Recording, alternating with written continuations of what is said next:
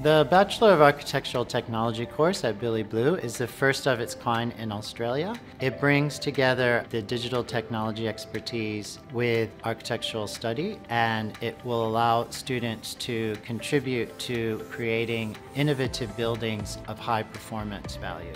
What's exciting about architectural technology is using cutting edge digital technologies to create better buildings. So more exciting forms, more exciting experiences as people live across digital and physical environments. My name is Sophie Kaur and I'm a learning facilitator here at Billy Blue.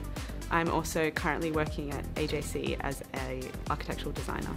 What I love about the architecture industry is firstly the people. I also love that architecture combines the creative artistic side as well as the technical and technological side, which for me always presents a new challenge. Our Bachelor of Architectural Technology course has a three pillar approach technology, design, and construction. This will prepare graduates to be agile across designing, detailing, and creating immersive digital environments. The use of digital technology can result in buildings that are more sustainable and healthier for the planet.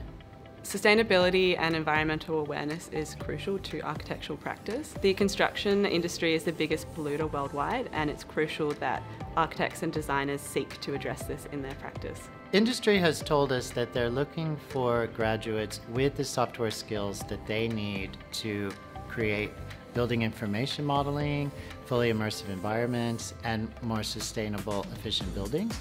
They're also looking for thought leaders, particularly around how theories regarding architecture are changing.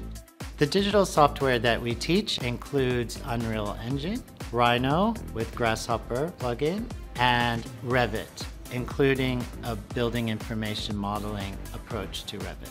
Revit is essential to an architect's practice. I use it every day.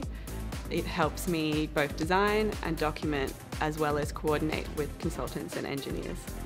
Technologies such as VR have revolutionized the end-to-end -end architectural process. We have an XR experience, so students can really learn to understand what the structural diagrams actually mean our students studying the Bachelor of Architectural Technology course can study fully online or face-to-face, -face, so you can tailor your study to your own lifestyle.